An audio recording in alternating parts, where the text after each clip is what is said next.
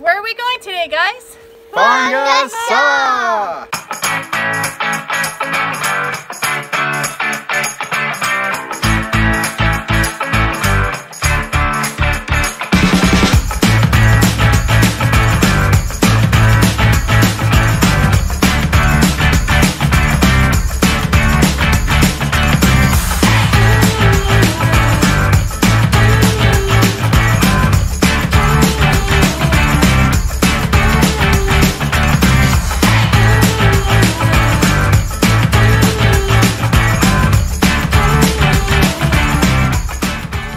Tafanga Saw is kind of special to me because when I first moved to American Samoa, I think the I moved here on a Thursday and two days later on a Saturday. This is the first place that some friends here took me, and uh, it was like breathtaking. It was my introduction into snorkeling in the South Pacific. First off, you go over this kind of shallow coral and then there's a nice drop off. It doesn't go real deep though, it's only 20, 30 feet maybe. And as you're going out over this drop off, then out in the distance, there's these kind of looming giant coral heads that kind of come out of nowhere. And, and the ocean life, the fish are, they're so diverse there. And it's just, it's probably our favorite place to go snorkeling in all of American Samoa. It's mine. It's my favorite that we've been to so far.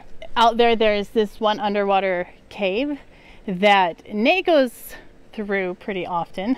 You've got to have a pretty good breath hold to be able to make it all the way down and then back up. But I, I made it once. Hopefully we'll be able to show you that again today. So there's not a lot of villages on the north side of the island, but Fagasa is one of the few. So you have to go up over this really beautiful mountain pass to, to get to it, which is the view you're seeing behind us. We're at the top right here. And at the top, there is this brand new nice parking lot because it's also the trailhead for the... Mount Alava Trail. Yeah, that one. For all the beaches on the island, it has one of the nicest sandy areas to wade out in, which is good for kids. It's a nice soft sand for a good 20, 30 feet out, which is pretty unique for this island. And also because of the bay, it keeps big waves out. And so the, the water stays nice and gentle and very kid friendly.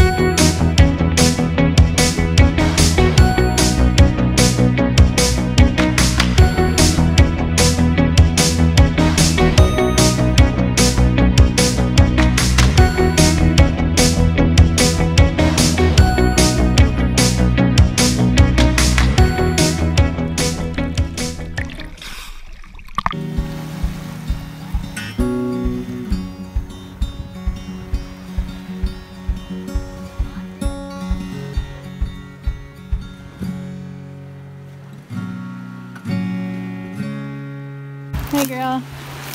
Hello. How's the hammock? Good.